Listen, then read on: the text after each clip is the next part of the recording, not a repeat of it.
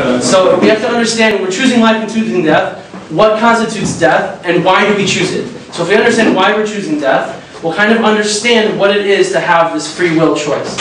What, what exactly this means. Um, so what's the ultimate form of choosing death? Killing yourself. Suicide. Right? So if we can understand the ultimate form of choosing death, we can understand the concept as a whole of what it means to choose death on a daily basis, whether small or large. Obviously, the most extreme concept is suicide, but if we can understand it better, then we will to understand the concept as a whole. So, um, we want to know what's going through the person who's committing suicide, what's going through his head, why is he doing it. Um, we know that he wants to avoid pain, right? He wants to avoid pain. He has something in his life that he's trying to escape, and he's avoiding that conflict. Um, so will, there's a, a, story of a man who's jumping off a bridge, and also it's not a true story, it's just an analogy. A man's jumping off a bridge, and a reporter runs up to him and says, please, please, before you jump, talk to me. He's like, okay, so, so why are you jumping? Uh, you know, I lost, I lost $10 million in the market crash, and my life is miserable. You know, I don't have my Ferrari anymore, and everything's just terrible. And he's like, well, how much money do you have left? Well, if I sold my house and my Porsche, I have like a million dollars. It's like, a million dollars, it's a lot of money. And the, the, you know, the guy's about to jump is like, how much money do you make a year? The reporter's like, yeah, I make 40000 He's like, $40,000? Are you kidding? I'll make my 10 million back before you make even 1 million. So the reporter says, so why don't you live? what's the matter? You have, have this money. You even just said you can make this $10 million back. He's like, no, no, you don't know what it's like to miss, to lose $10 million and be back to nothing. I'm jumping. So the guy jumps. That's it. So what happened? He was focusing on the bad. All he saw, all he saw was that he focused on the bad parts of his life and he decided to choose death. He, he said that I, I can't deal with this pain. I have no ambition to go through the challenge of coming, of coming all the way back from to 10 million, even though he knew he could do it. If, if you asked him, what do you really want to do? He's like, I want to be rich again, right? He wants to have his money back. But he has, he's avoiding the pain of doing that. He doesn't want to go through the effort. So he takes the easy way out. He commits suicide.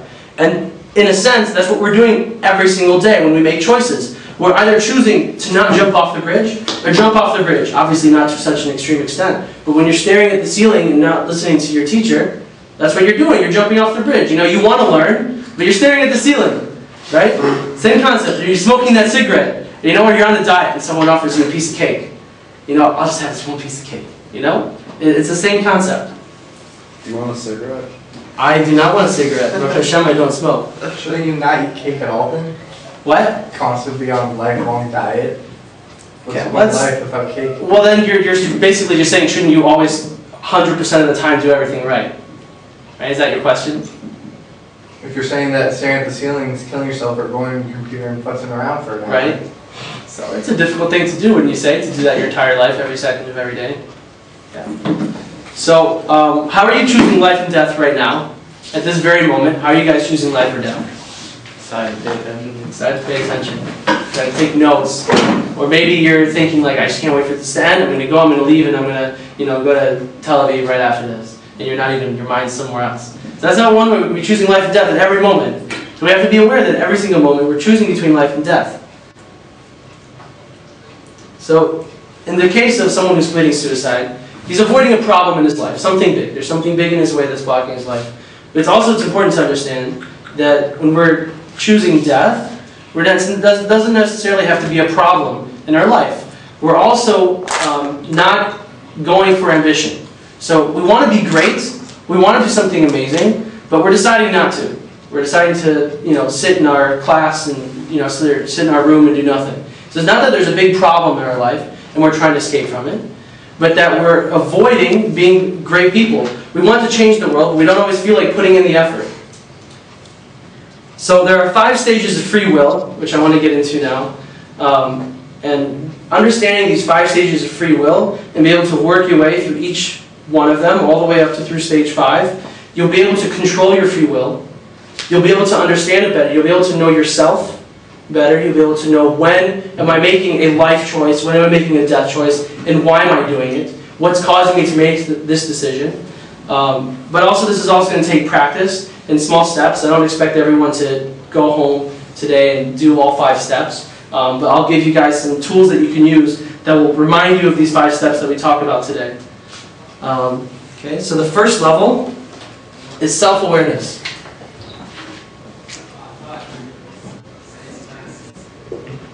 Self-awareness. So what do I mean by self-awareness?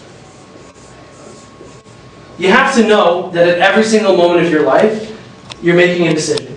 A life or death choice, essentially, I'm using the, extreme example, but you're choosing, you're using your free will at every single second. If you don't know that you're, you're not using your free will, let's say right now you're sitting here and think, I'm not using my free will, I'm just sitting here. I already made a choice to sit in the classroom, right? I already made a choice to do X, Y, or Z. I'm not using my free will anymore. So two things could happen. So obviously you're choosing either life or death. So if you're choosing life, that's great. You're doing something good, but you didn't even know that you're choosing it. So the next time you come into the similar situation, why would you choose it again?